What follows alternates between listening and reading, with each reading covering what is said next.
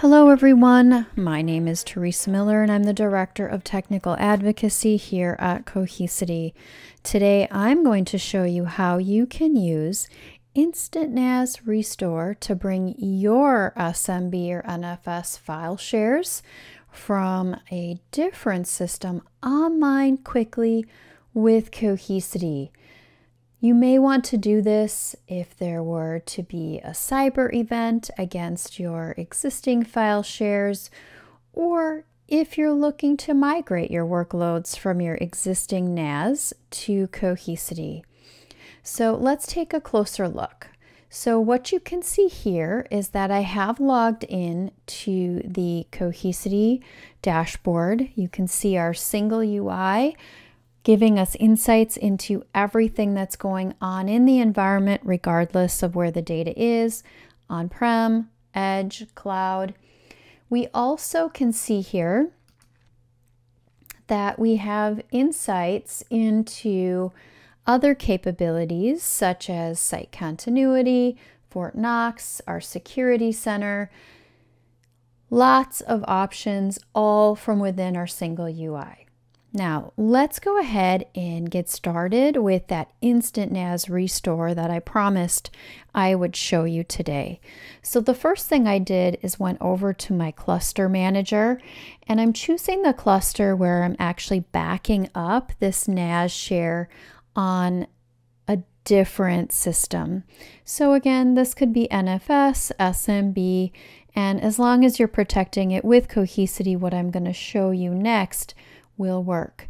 So if we go over to data protection and we choose recoveries, we're now going to have the ability to choose recover NAS and we would want to choose storage volume.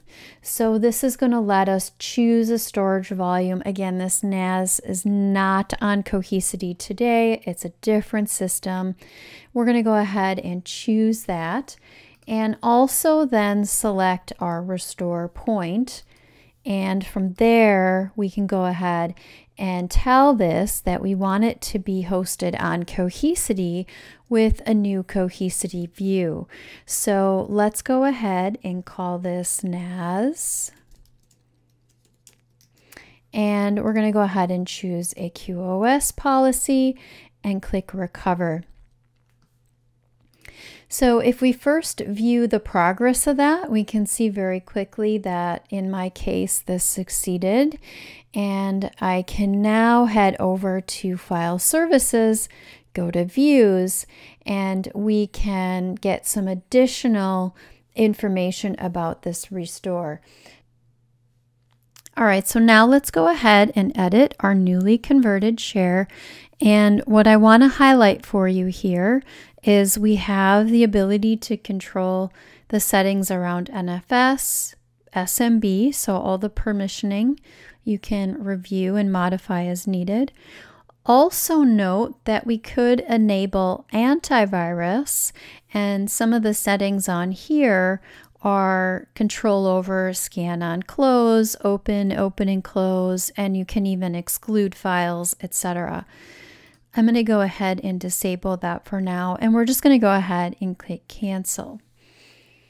Now, if I had enabled the antivirus, and I do have this enabled on some other Cohesity views, what we could do is uh, just take a closer look at that. Now, if I click over on providers, I can see that I have ClamAV app enabled. This is an antivirus option available in the Cohesity marketplace.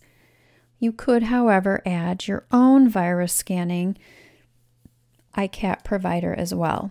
I'm going to go ahead and cancel. And then what happens is you then get the ability to, on access, you can have detections occur and items be quarantined. So in this case, on the default antivirus uh, view, we have EICAR, which was detected and quarantined. All right, so then with that, let's go ahead and wrap things up today. What you can see is that we can restore your NAS to Cohesity with Instant NAS Restore in the event of a cyber attack to bring production workloads online quickly, or you could leverage this process to migrate workloads from your NAS onto Cohesity and leverage your file shares from there. Thank you so much for joining me for this demo today, and that wraps up this demo.